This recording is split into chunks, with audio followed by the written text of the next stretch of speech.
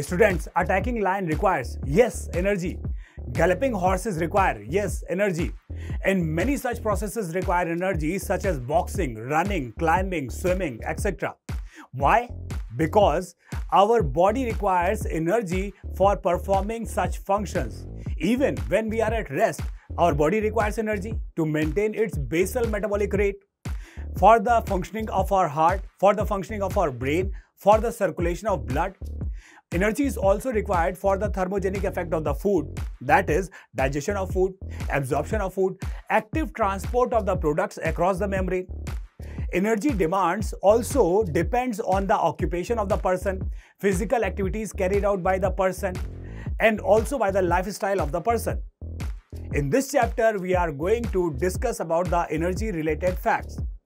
This chapter is named as Respiration in Plants in the NCERT of class 11th given on page number 226, Unit 4, chapter 14. Although this chapter is named as Respiration in Plants, but respiration is taking place in all the living organisms such as bacteria, animals, plants, etc. For our energy requirements, we are going to consume food. ये food हमारी stomach और intestine में जाता है और फिर वो specifically glucose में ब्रेक हो जाता है। No no no this is not respiration this is simple digestion respiration start just after that when the glucose enters inside the cell जब ग्लूकोज सेल के अंदर एंटर होता है, उस ग्लूकोज का फर्दर ब्रेकडाउन किया जाता है और उस प्रोसेस को आप क्या कहते हैं? सेलुलर रेस्पायरेशन जब ऐसा होता है तो बॉन्ड्स के ब्रेक होने से एनर्जी रिलीज़ होती है और फिर उस एनर्जी को ट्रैप किया जाता है एटीपी के मॉलिक्यूल में। ATP what is ATP adenosine triphosphate it is a marvellous molecule action pack with three three phosphates actually it is a nucleotide अब यहाँ पर इन बच्चों की मदद से हम एटीपी के बारे में थोड़ा समझते हैं। ये बच्चे थोड़े शैतान लग रहे हैं। मतलब कि these kids are just like the phosphates तो ये बच्चे यहाँ पर फॉस्फेट्स को रिप्रेजेंट कर रहे हैं। जैसे कि एडेनोसाइन ट्राइफॉस्फेट के मॉलिक्यूल में तीन फॉस्फेट्स प्रेजेंट हैं, वो भी नेगेटिवली चार्ज होते हैं।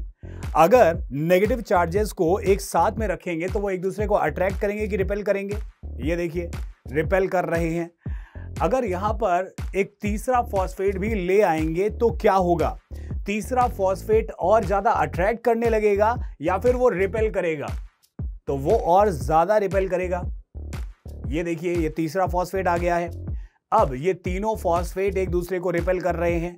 क्या हो अगर इन तीनों फॉस्फेट को एक मॉलिक्यूल का पार्ट बना दिया जाए, जैसे कि एडिनोसाइन? तो अगर एडिनोसाइन के साथ जोड़ दिया गया है तो क्या होने वाला है? आप ठीक समझ रहे हैं। यही होने वाला है।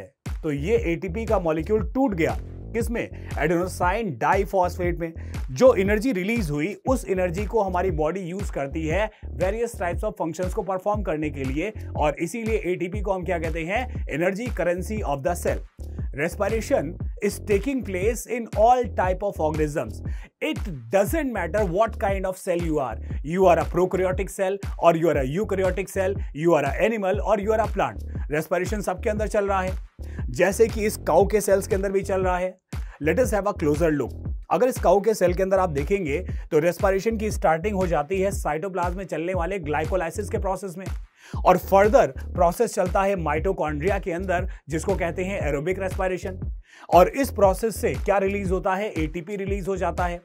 और वही एटीपी हम यूटिलाइज करते हैं अपनी बॉडी के फ़ंक्शंस को करवाने के लिए। Cellular respiration is the breakdown और oxidation of food and during this process energy is release this energy is utilised for the synthesis of ATP इसी को कहते हैं सेलुलर रेस्पिरेशन प्लांट्स के अंदर भी सेलुलर रेस्पिरेशन चल रहा है। प्लांट्स के अंदर एक खास प्रोसेस चलती है मतलब लाइट की प्रेजेंस में कार्बन डाइऑक्साइड और वाटर को यूज़ करके प्लांट्स क्या बना देते हैं?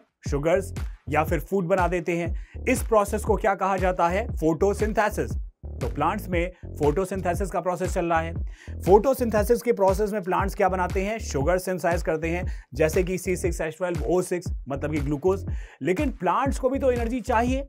और प्लांट्स को अगर एनर्जी चाहिए तो वो क्या करेंगे? ऐसे शुगर्स या ग्लूकोज के कार्बन कार्बन बॉन्ड्स को ऑक्सीडाइज करेंगे या ब्रेक करेंगे और उससे रिलीज़ होने वाली एनर्जी से सिंथेसाइज करवाएँगे एटीपी और इस प्रोसेस को कहा जाएगा yes cellular respiration this is cellular respiration तो cellular respiration is also taking place inside the plants plants में भी चल रहा है। सेलुलर रेस्पायरेशन की कई सारी प्रॉपर्टीज़ हैं। जैसे कि one of such property is exergonic process cellular respiration कैसी प्रोसेस है? एक्सरगोनिक प्रोसेस है। अब एक प्रोसेस को एक्सरगोनिक कब कहा जाता है? जब उस प्रोसेस में एनर्जी रिलीज़ होती है। अगर हम सेलुलर रेस्पिरेशन का रिएक्शन देखें over here C6H12O6 plus 6O2 plus 6H2O that is going to release 6CO2 plus 12H2O plus 686 kilo calories तो इतनी एनर्जी यहाँ पर रिलीज़ हो रही है। और अगर एनर्जी रिलीज़ होती है किसी प्रोसेस में तो उसको क्या कहते हैं? एक्सरगोनिक मतलब सेलुलर रेस्पायरेशन कैसी प्रोसेस हो गई? एक्सरगोनिक प्रोसेस हो गई क्योंकि एनर्जी रिलीज़ हो रही है। सिमिलरली रेस्पायरेशन को कहा जाता है मल्टी स्टेप प्रोसेस इसको एक स्टेप में नहीं करवाया जाता है क्योंकि एक स्टेप में बहुत सारी एनर्जी एक साथ से रिलीज़ हो जाएगी। और उतनी एनर्जी के रिलीज़ होने की वजह से बायोलॉजिकल सिस्टम्स या लिविंग सिस्टम्स डैमेज हो सकते हैं। इसीलिए इसको बहुत सारे स्टेप्स में छोटे छोटे स्टेप्स में करवाया जाता है। स्टेप बाय स्टेप रिलीज़ होता है एनर्जी और उस एनर्जी को यहाँ पर ट्रैप किया जाता है एटीपी के मॉलिक्यूल में। जैसे कि कहा जाता है ना, सौ सुनार की एक लोहार की। अब यहाँ पर इस रेस्पायरेशन की प्रोसेस को एम्फीबॉलिक प्रोसेस भी कहा जाता है। एम्फी एम्फो का मतलब क्या?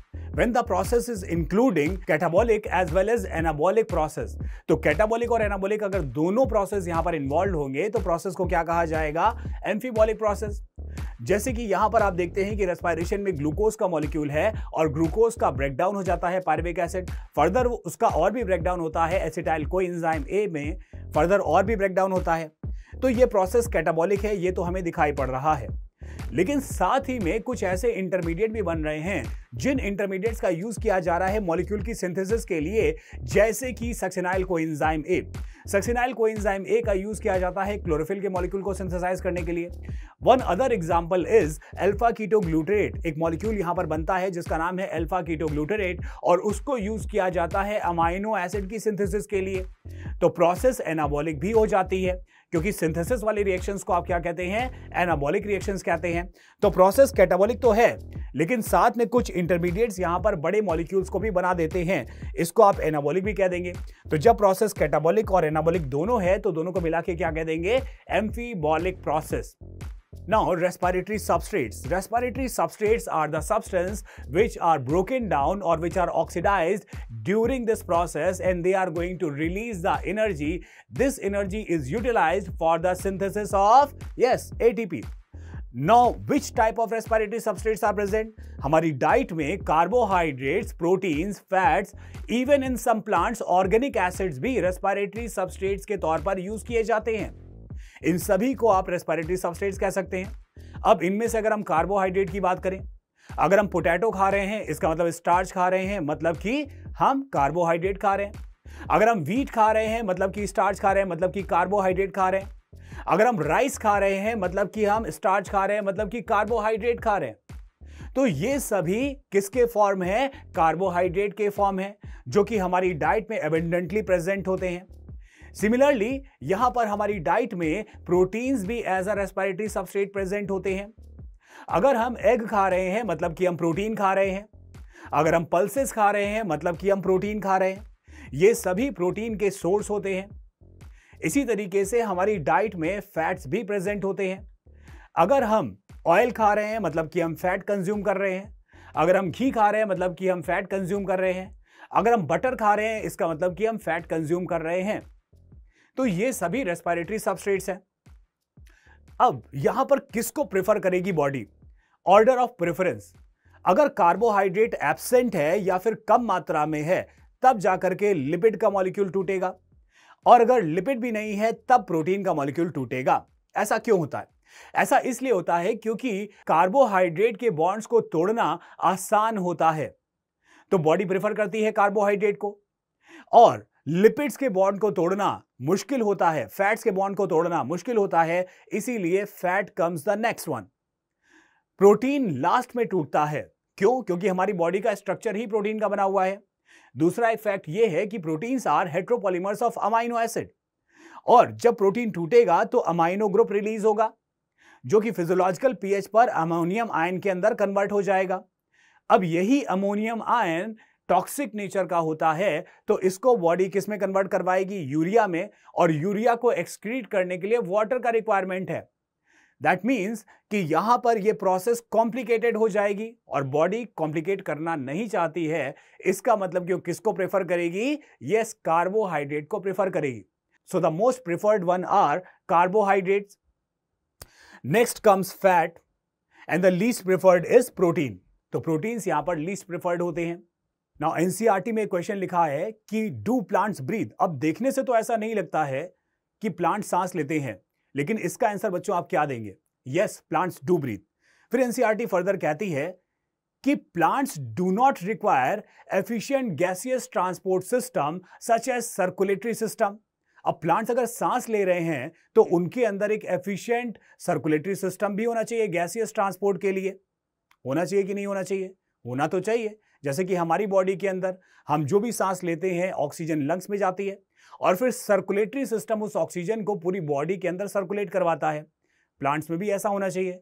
लेकिन प्लांट्स में ऐसा नहीं है। प्लांट्स के अंदर एफिशिएंट गैसियस ट्रांसपोर्ट सिस्टम मतलब सर्कुलेटरी सिस्टम नहीं पाया जा रहा है। और ऐसा क्यों है? देखिए, हमारी बॉडी के ऑर्गन्स को लंग्स पर डिपेंड करना पड़ता है यहाँ पर ऑक्सीजन के लिए। जैसे कि हैंड्स को लेग्स को, सबको ऑक्सीजन कहाँ से मिल रही है? लंग से। और वो कैसे सप्लाई करवाई जा रही है? सर्कुलेटरी सिस्टम से सप्लाई करवाई जा रही है। जबकि प्लांट्स के अंदर ऐसा नहीं है। प्लांट के जितने भी ऑर्गन्स हैं, जैसे कि लीफ है स्टेम है रूट है, उनके अंदर कुछ सिंपल स्ट्रक्चर्स प्रेजेंट हैं, जैसे कि स्टोमेटा और लेंटी सेल्स और वहीं पर गैसेस एक्सचेंज हो जा रहा है। तो इसीलिए प्लांट्स को सर्कुलेटरी सिस्टम की रिक्वायरमेंट नहीं है। रीजन क्या रहेगा?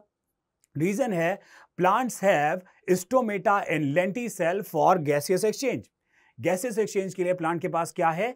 स्टोमेटा और लेंटी सेल्स है। फिर यहाँ पर एनसीआरटी आगे लिखती है कि प्लांट्स में एफिशिएंट गैसियस एक्सचेंज के ऑर्गन्स जैसे कि लंग्स भी नहीं पाए जाते हैं। अब प्लांट्स के अंदर लंग्स भी नहीं पाए जा रहे हैं, जबकि हमारी बॉडी के अंदर आपको लंग्स दिखाई पड़ते हैं गैसेस एक्सचेंज के लिए। तो प्लांट्स में ये लंग्स क्यों नहीं पाए जा रहे हैं? इसके भी रीजंस हैं। तो रीजंस क्या है? रीजंस ये हैं कि each and every plant part take care of its own gaseous exchange her plant का पार्ट खुद का गैसेस एक्सचेंज करवा रहा है। जैसे लीफ में उनका खुद का गैसेस एक्सचेंज चल रहा है, स्टेम में उसका खुद का गैसेस एक्सचेंज चल रहा है, रूट्स में उनका खुद का गैसेस एक्सचेंज चल रहा है। तो इसीलिए लंग्स जैसे ऑर्गन का रिक्वायरमेंट नहीं होता है। दूसरा है कि यहाँ पर the distance which is travelled by the gases exchange is not much. मतलब कि ज़्यादा दूरी के लिए यहाँ पर डिस्टेंस ट्रेवल नहीं किया जाता है। मतलब लॉन्ग डिस्टेंस गैसेस ट्रांसपोर्ट नहीं है। ऐसा इसीलिए है क्योंकि इंडिविजुअल प्लांट के ऑर्गन्स में ही गैसेस एक्सचेंज हो रहा है तो लंबी दूरी तक आपको गैसेस ट्रांसपोर्ट नहीं करवाना पड़ेगा। यहाँ पर आप देख रहे हैं कि जो प्लांट्स हैं प्लांट्स के अंदर गैसेस एक्सचेंज चल रहा है। रूट में भी चल रहा है स्टेम में भी चल रहा है और लीफ में भी चल रहा है। लीफ के अंदर एक प्रोसेस चलती है जिसको आप कहते हैं फोटोसिंथेसिस फोटोसिंथेसिस करवाने के लिए लीफ को किसका रिक्वायरमेंट है? कार्बन डाइऑक्साइड तो ये carbon dioxide via stomata leaf के अंदर चला जाएगा। लीफ के अंदर शुगर की सिंथेसिस हो जाएगी और शुगर्स को फिक्स करवा दिया जाएगा। एज अ बाय प्रोडक्ट क्या चीज़ रिलीज़ होगी? ऑक्सीजन यहाँ पर रिलीज़ हो जाएगी। अब ऑक्सीजन रिलीज़ हो जा रही है तो लीफ का खुद का ऑक्सीजन का रिक्वायरमेंट फुलफिल हो जाएगा कि नहीं? यस yes, लीफ का खुद का ऑक्सीजन रिक्वायरमेंट लीफ के अंदर ही फुलफिल हो गया है। बचा स्टेम और रूट तो स्टेम और रूट्स लेंटी सेल से ऑक्सीजन को एक्वायर कर लेते हैं। मतलब कोई भी प्लांट का पार्ट किसी दूसरे प्लांट के पार्ट पर गैसियस एक्सचेंज के लिए डिपेंड नहीं करता है। अब यहाँ पर आप देखें कि each living cell of the plant is located quite close to the surface of the plant जैसे कि अगर लार्ज बल्कि ट्रीज में भी आप देखते हैं तो वो लिविंग सेल्स आपको दिखाई पड़ते हैं कि सरफेस के करीब प्रेजेंट होते हैं। इवन बड़े बड़े पेड़ जो आप देखते हैं उन पेड़ों में स्टेम का जो पार्ट होता है, अंदर से जो पार्ट है वो डेड है, अंदर का पार्ट डेड है, वो है वुड और जो लिविंग सेल्स हैं पेरेनकाइमेटस सेल्स हैं, वो आपको पेरीफेरी पर दिखाई पड़ते हैं, वो आपको थिन लेयर्स में दिखाई पड़ते हैं beneath the bark that how much you have understood the topic coming to question number one and question number one says that during cellular respiration the energy is release in cellular respiration के वक्त energy release होती है। Number one single step में no number two two steps में no number three ten steps में no number four multiple steps में yes so respiration is a multi step process देखा था हमने। तो और answer is going to be option number four multi step now coming to question number two and question number two says that which of the following acts as the energy currency of the cell इनमें से किसको energy currency of the cell कहा जाता है? Is it number one NDPS two no is it number two F two no is it number three A T yes is it number four CO Q no so our answer is going to be option number three A T question number three says that find out the correct sequence of use of respiratory substrates. Respiratory substrates किस क्रम में टूट रहे हैं? इनका सही क्रम क्या है? Number one protein then carbohydrate then fat no number two carbohydrate then fat then protein yes number three fat then carbohydrate then protein no number four carbohydrate then protein then fat no so our answer is going to be option number two ये सही sequence है। मतलब कि most preferred is going to be carbohydrate next comes fat and the least preferred is protein. So the most preferred will be carbohydrate ऐसा देखा था हमने। Now coming to question number four question number four says that which organ are present in plant for gaseous exchange gaseous exchange के लिए plant में कौन से organ present होते हैं? Is it number one stomata yes is it number two lenticels sales yes मतलब कि best option क्या हो जाएगा? Both one and two so our answer is going to be option number three both one and two